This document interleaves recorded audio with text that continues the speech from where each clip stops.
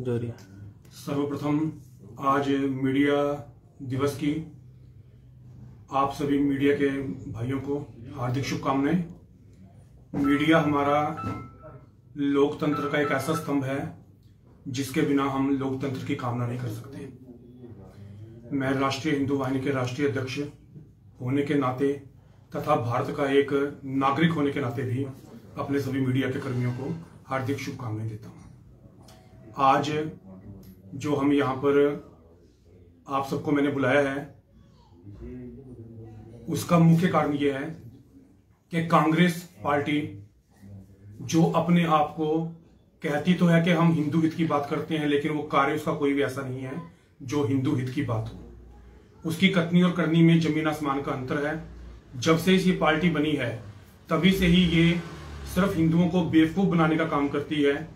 अभी इन्होंने कर्नाटका में जो चुनाव हो रहे हैं, वहाँ जो उन्होंने मैनिफेस्टो दिया है, उसके अंदर इन्होंने स्पष्ट रूप से बोला है कि अगर हमारी पार्टी सत्ता में आती है तो हम बजरंग दल को प्रतिबंधित करेंगे। मैं राष्ट्रीय हिंदू वाहिनी के राष्ट्रीय अध्यक्ष होने के नाते पूरी कांग्रेस पार्टी को यह चाहता चेतावनी देना चाहता हूँ, कठोर से कठोर शब्दों में, कि वो अपनी ऐसी हरकतों से बाज आए, हिंदू विरोधी गतिविधियाँ छोड़ें। वो क्या सोच के उन्होंने ये अपने मैनिफेस्टो में रखा है कि वो बजरंग दल को प्रतिबंधित करेंगे? बजरंग दल का ऐसा कौन सा कार्य है जो देश का विरोधी हो, जो राष्ट्र का विरोधी हो या किसी समाज के विशेष वर्ग का विरोधी हो? अपनी सुरक्षा करना, अपने आत्मरक्षा करना यह भारत के हरेक नागरिक का अधिकार है।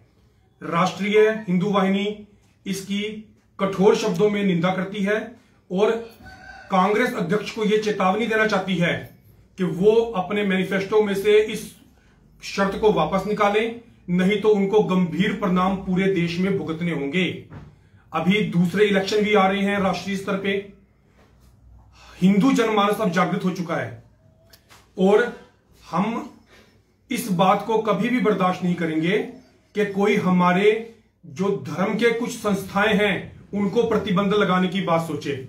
कभी ये संघ पर प्रतिबंध लगा देते थे। कभी ये हिंदू आतंकवाद का नाम लेते हैं, कभी हमारे साधु संतों को निर्दोष, निरापराध जो हमारी साध्वी हैं, उनको जेल में रखते हैं।